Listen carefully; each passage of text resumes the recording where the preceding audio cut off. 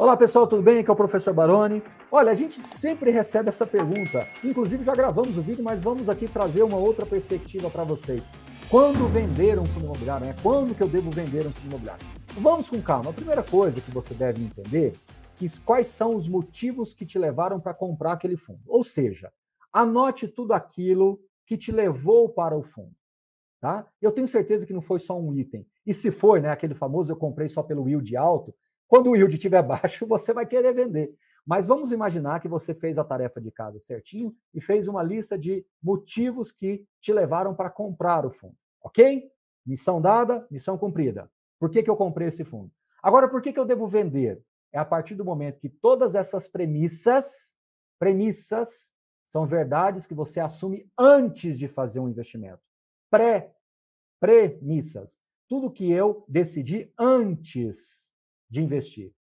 Quando essas premissas, que são verdades, que você, que você assumiu antes de investir, quando elas começam a se tornar falsas, você vai acendendo luzinhas, né?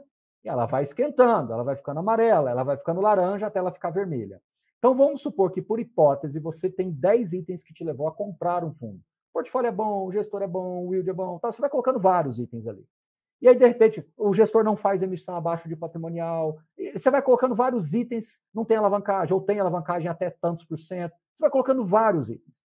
Aí, de repente, o gestor vai lá e, poxa, vendeu um imóvel que você gostava tanto, ele vendeu. Opa, então tem um item aqui que, de repente, já começa a ficar amarelo.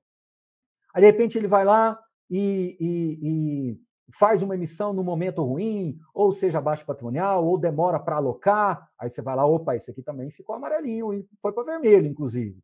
Aí você vai calibrando. Quando você perceber que esse seu ranking, que estava todo verde, né, quando você comprou, ele começa a ficar amarelo, começa a ficar laranja, começa a ficar vermelho, significa dizer que você já está muito inclinado a fazer a venda. Aí, quando você decidir fazer a venda, ela vai ser totalmente amadurecida na sua cabeça ela não vai ser espontânea. Por isso que me preocupa muito quando eu vejo as pessoas tomando decisões muito rápidas na compra ou na venda. Via de regra, essa história não termina bem, né? Então, assim, o que, que me levou a comprar não foi só um item. Não é possível que seja só um item. Vamos, vamos esquecer fundo imobiliário um pouquinho? Quando você vai comprar um carro, é só um item?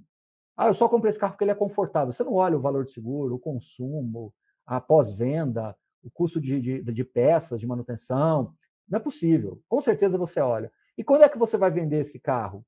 Vários itens, quando ele, você começa, pô, esse carro agora vai começar a dar revisão, ah, esse carro aqui agora já não já não está me atendendo mais, ou ele, ele é confortável, mas tem outro que eu gosto mais. Pare, pare, pare, pare, pare. Sabe por quê? Porque até amanhã a Suno está dando gratuitamente três livros. Isso mesmo, três livros grátis para que você possa baixar. Mas ó, tempo super limitado, corram para que vocês possam aproveitar esse momento inédito. A Suno faz aniversário, mas quem ganha é você. E clique aqui no link da bio para que você possa acessar todas as informações para baixar gratuitamente os três livros grátis da Suno. Corra, que é só até amanhã, hein? Então, quando você vai colocando a, a, a, as premissas vão se enfraquecendo, né? Elas não precisam ficar falsas totalmente, mas elas vão perdendo força, elas vão enfraquecendo, você naturalmente vai sentir vontade de trocar aquele carro.